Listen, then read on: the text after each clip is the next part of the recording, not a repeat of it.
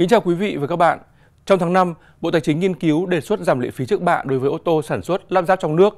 Cả nước tồn kho trên 23.000 sản phẩm bất động sản trong quý 1. Xuất khẩu rau quả tăng trưởng mạnh mẽ. Đây là những thông tin chính sẽ được chuyển tới quý vị trong chương trình Nhịp sống kinh tế ngày hôm nay.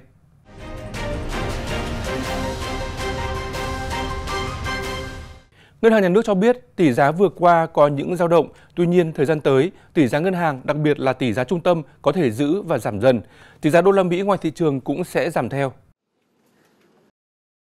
Hiện tỷ giá trung tâm giữa đồng Việt Nam với đô la Mỹ là 24.246 Việt Nam đồng, giảm 26 đồng so với một tuần trước đó. Tại các ngân hàng thương mại, giá đồng bạc xanh phổ biến ở mức 25.118 và 25.458 Việt Nam đồng trên 1 đô la Mỹ, mua vào và bán ra. Tỷ giá là một vấn đề rất lớn của nền kinh tế, nếu không quản lý hiệu quả sẽ tác động tới lạm phát. Đến nay, tỷ giá trung tâm giảm còn 4,8% so với năm 2023. Dù vậy, mức mất giá này vẫn tích cực so với nhiều thị trường khác như Đài Loan, Trung Quốc, Thái Lan, Nhật Bản, Hàn Quốc, Thụy Sĩ. Do độ mở của nền kinh tế nên việc điều hành tỷ giá lúc này rất quan trọng. Ngân hàng nhà nước sẽ điều hành tỷ giá một cách hợp lý. Tỷ giá giữa đồng Việt Nam và đô la Mỹ niêm yết tại các ngân hàng thương mại sau khi tăng vào tuần trước nay đã hạ nhiệt hơn. Tuy nhiên, trước những biến động, các doanh nghiệp đã chủ động nhiều giải pháp để ứng phó, đặc biệt trong bối cảnh nhu cầu nhập khẩu tăng cao để chuẩn bị cho các hoạt động xuất khẩu thời gian tới. Theo nhiều doanh nghiệp, với mức biến động tỷ giá từ đầu năm tới nay thì chi phí nhập khẩu hàng hóa đã tăng thêm không ít. Để ứng phó, doanh nghiệp đã tăng cường nguồn hàng trong nước thay thế nhập khẩu. Những mặt hàng buộc phải nhập khẩu thì chủ động mua bảo hiểm tỷ giá. Điều này giúp doanh nghiệp vừa cố định được chi phí nhập khẩu, vừa có được tỷ giá tốt hơn so với giá hiện hành. Hiện các ngân hàng đều đang bán đô la Mỹ kỳ hạn cho doanh nghiệp xuất khẩu với mức giá thấp hơn giá giao ngay. Nhiều chuyên gia cũng nhận định tỷ giá tăng mang tính thời điểm, nhưng việc doanh nghiệp chủ động ứng phó trước biến động này sẽ giúp giảm thiểu tác động và tối ưu hóa chi phí. Tiêu thụ ô tô trong tháng qua tuy có tăng trở lại nhưng vẫn còn ở mức thấp so với những năm trước, buộc các hãng xe phải liên tục có chính sách ưu đãi, bao gồm giảm giá và miễn giảm lệ phí trước bạ. Do sức mua yếu nên số lượng xe tồn kho từ năm 2023, thậm chí năm 2022 hiện vẫn còn rất lớn. Những xe model cũ này rất khó bán ra dù đã được hãng và đại lý giảm sâu. Trước tình hình này, Thủ tướng đã giao cho Bộ Tài chính nghiên cứu đề xuất trong tháng 5 năm 2024 về việc giảm lệ phí trước bạ đối với ô tô sản xuất, lắp ráp trong nước. Theo các hãng ô tô, nếu được miễn giảm lệ phí trước bạ, các hãng xe sẽ giảm được áp lực rất lớn về mặt tài chính, cũng như giải quyết được số lượng xe tồn kho lớn hiện nay, giúp thị trường sôi động trở lại. Theo báo cáo mới nhất về tình hình thị trường bất động sản do Bộ Xây dựng công bố, lượng tồn kho bất động sản tại các dự án trong cả nước quý 1 vào khoảng trên 23.000 căn, bao gồm cả chung cư, nhà ở riêng lẻ và đất nền. Trong quý 1, tồn kho chung cư là khoảng 3.706 căn, nhà ở riêng lẻ là 8.468 căn và 10.855 sản phẩm đất nền. Như vậy, đất nền đang dẫn đầu lưu lượng hàng tồn kho và kế tiếp là nhà ở riêng lẻ. Hiện nhiều địa phương đang gia tăng triển khai đấu thầu giá đất nền tại các khu đô thị, khu dân cư mới, nhiều hơn với cùng kỳ năm 2023. Đây được đánh giá là động thái tích cực. Các chuyên gia cho rằng yếu tố này sẽ tác động mạnh đến thị trường bất động sản, giúp phân khúc đất nền sôi động hơn trong thời gian tới. Theo Hiệp hội Da dày túi sách Việt Nam, trong bối cảnh hiện nay, việc có một trung tâm giao dịch nguyên liệu được cho là cần thiết để doanh nghiệp đa dạng nguồn nguyên phụ liệu đầu vào, tránh bị phụ thuộc vào một thị trường. Một trong những khó khăn lớn của ngành da dày là công nghiệp hỗ trợ cung ứng nguyên liệu chưa phát triển. Các doanh nghiệp chủ yếu tập trung vào gia công, trong khi hiện nay phần lớn nguyên liệu phục vụ sản xuất xuất khẩu được nhập từ Trung Quốc, Hàn Quốc và các nước ASEAN.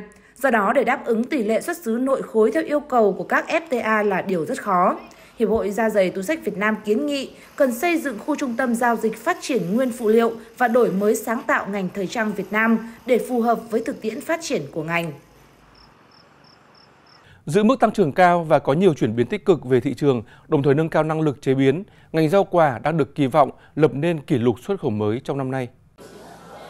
Nối tiếp đà xuất khẩu tăng trưởng mạnh mẽ của quý 1, trong tháng 4, rau quả Việt Nam tiếp tục có những kết quả khởi sắc, ước đạt 520 triệu đô la Mỹ, đưa tổng giá trị xuất khẩu rau quả trong 4 tháng đầu năm của nước ta đạt 1,8 tỷ đô la Mỹ, tăng hơn 32% so với cùng kỳ năm trước. Bộ Nông nghiệp và Phát triển Nông thôn nhận định các doanh nghiệp đã rất tích cực trong vấn đề ký kết lại các đơn hàng. Vấn đề đáng quan tâm là tổ chức sản xuất để bảo đảm sản lượng, cung cấp theo hợp đồng, tránh bị gián đoạn. Dư địa từ thị trường còn khá lớn. Tuy nhiên, để cạnh tranh xuất khẩu bền vững, đòi hỏi sản phẩm rau quả của Việt Nam phải nâng cao hơn nữa về chất lượng. Truy xuất nguồn gốc nông sản hiện nay là yếu tố quan trọng để quyết định nông sản có thể tham gia vào chuỗi liên kết cung ứng nông sản an toàn cho doanh nghiệp chế biến và xuất khẩu. Việc quản lý hiệu quả truy xuất nguồn gốc nông sản đang ngày càng trở nên cấp thiết.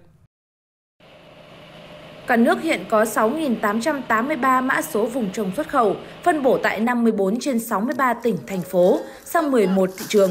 Trong đó, vùng đồng bằng sông Cửu Long có số lượng mã số vùng trồng lớn nhất cả nước, chiếm 57%. Để quản lý chặt mã số vùng trồng và mã số cơ sở đóng gói, Sở Nông nghiệp và Phát triển Nông thôn nhiều tỉnh thành đã lập các đoàn kiểm tra liên ngành nhằm kiểm tra việc chấp hành quy định về sử dụng và duy trì các điều kiện, yêu cầu của mã số vùng trồng, mã số cơ sở đóng gói. Các sản phẩm có dán tem truy xuất nguồn gốc sẽ góp phần bảo vệ được thương hiệu, nâng tầm giá trị của doanh nghiệp, hợp tác xã, mở rộng cơ hội xuất khẩu, gia tăng thị trường. Do ảnh hưởng của El Nino nên các nhà sản xuất xuất khẩu gạo lớn trên thế giới đều có kế hoạch cắt giảm sản lượng. Vì vậy, trong niên vụ 2024, thế giới có thể thiếu hụt khoảng 5,8 triệu tấn gạo. Đây là cơ hội cho xuất khẩu gạo Việt Nam tại các thị trường truyền thống quan trọng, đặc biệt là tại khu vực châu Á và châu Phi. Thông tin từ vụ thị trường châu Á, châu Phi Bộ Công Thương, trong tổng sản lượng gạo xuất khẩu của Việt Nam thì lượng gạo xuất khẩu sang khu vực châu Á, châu Phi đang chiếm đến 90% tổng lượng gạo xuất khẩu của Việt Nam ra toàn thế giới.